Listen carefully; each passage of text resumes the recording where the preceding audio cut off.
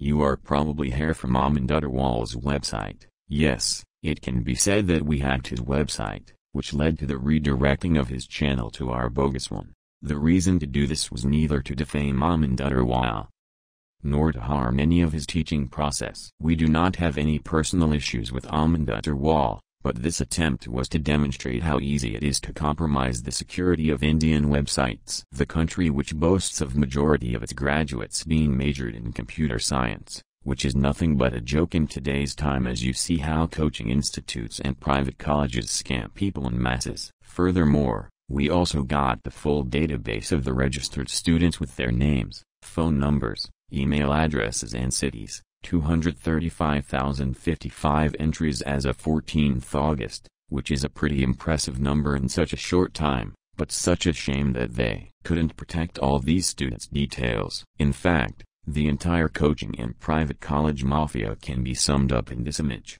Furthermore, here's how much money they make from their paid courses. They made this exact amount in three weeks, close to 3 crore just from students.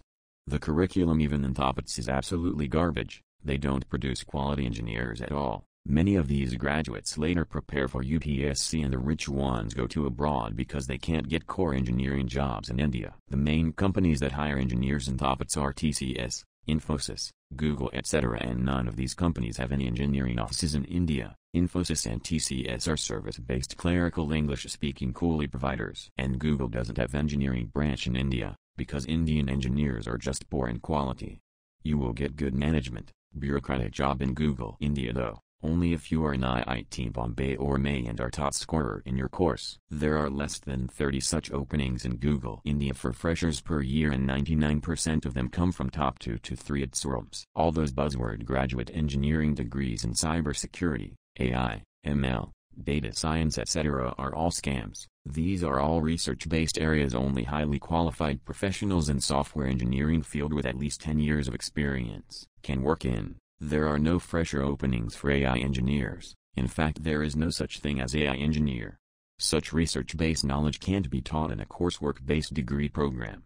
The job of an engineer is to solve problems not to get meme degrees. You can become a better software engineer by practicing programming getting a good GitHub profile, having employee recommendations by impressing current software employees working in top companies by impressing them on GitHub. It's actually very hard to get permanent software engineering job in USA from India. All these promises and fake aspirations sold by your coaching institutes don't matter, the average student is the bank for them while the few selected ones are used and exhausted to the most extent to produce results. But, the core problem lies in the mentality of Indian parents.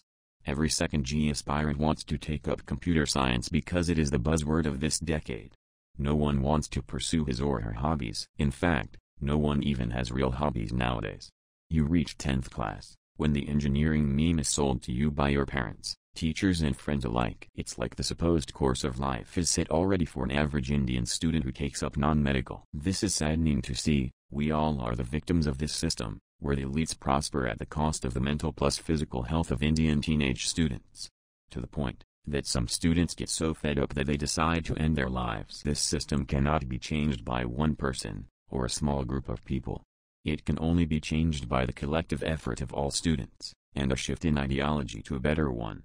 Or the situation will remain grave. This cannot last long.